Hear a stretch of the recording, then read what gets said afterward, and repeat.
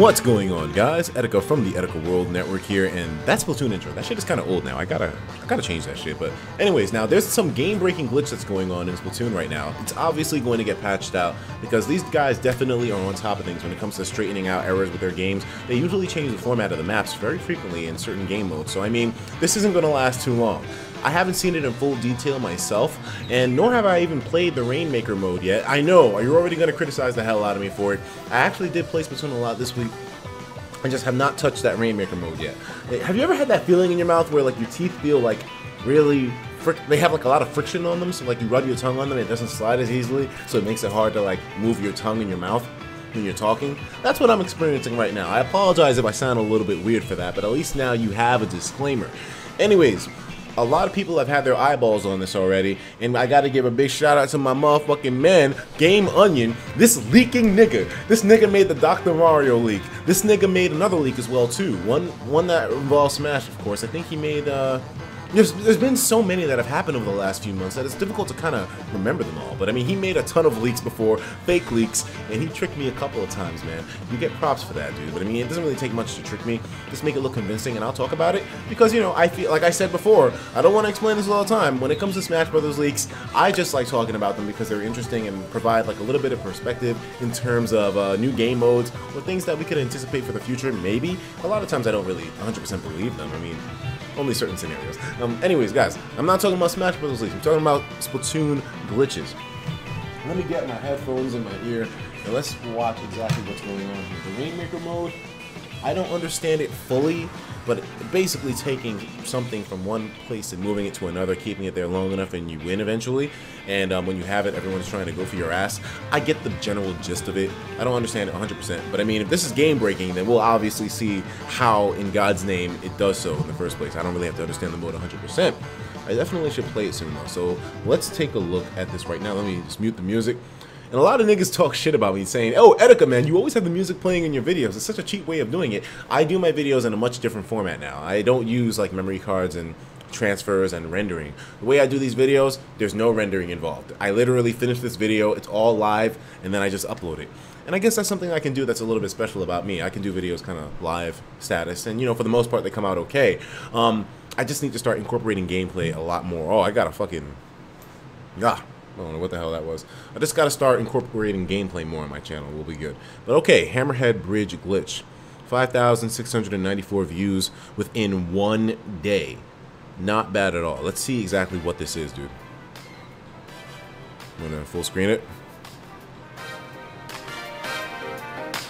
Alright, so this is the Rainmaker mode, man. Got it on full screen HD. How much of a game breaker is this? So he's got the Rainmaker at this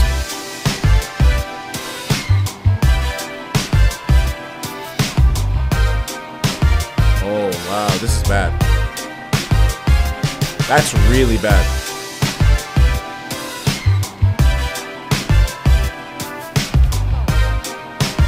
This is a new level, too. I haven't even played this level yet.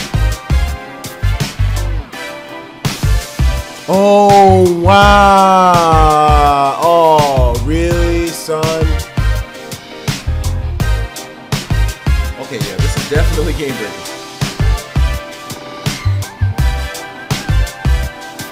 What?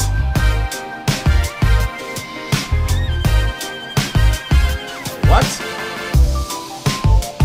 Damn, nigga. This is some Squid Assassin's Creed shit right here. This looks exactly like Assassin's Creed 3 when Desmond was infiltrating the Brazilian stadium. Yo. Beacons give you easy access to the back here. Damn, Oh, how crazy is this gonna look? This nigga's gonna go straight to the ground. Wow, dude.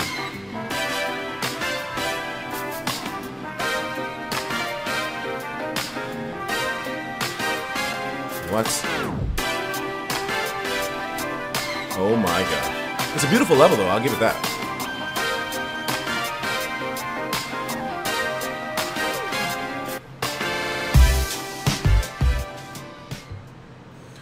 I'll tell you right now, um, if I ever do play the Rainmaker mode and I go to Hammerhead Bridge, I actually I did play it, but it was in um, Splat Zones. I know for a fact that in Rainmaker you're going to see a bunch of people trying to transverse underneath the bridge like that because if this isn't patched out yet, then obviously people are aware of it at this point and if they're not aware you'll be aware now. I'm doing this to inform a lot of people at the same time. That this is probably going to be a way that a lot of users bullshit this mode. So you're aware now. It doesn't seem like it's too difficult for anyone to go under there. Um, just do a couple of really well-timed jumps and you'll be able to get to those areas no problem.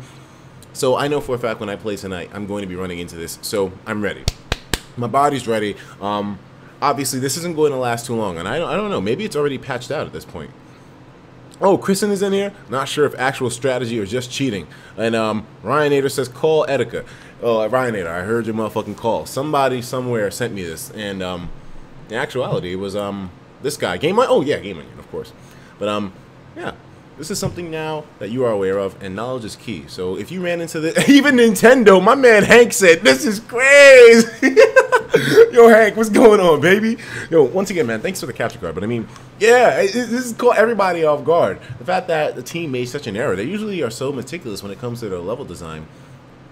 They have a little bit of a problem with this one. Hopefully, it gets fixed soon. It makes the game not as you know backbreaking because I know some people wouldn't really have the coordination to be able to make such precise movements, especially when you're moving with the gamepad. But um, when you use two sticks, that ain't a problem. But I'm just saying, I'm just saying, I'm just saying. Anyways, guys, I'll talk to you guys in the next video. Take care of yourselves, and of course, as usual, please have yourself a damn good one.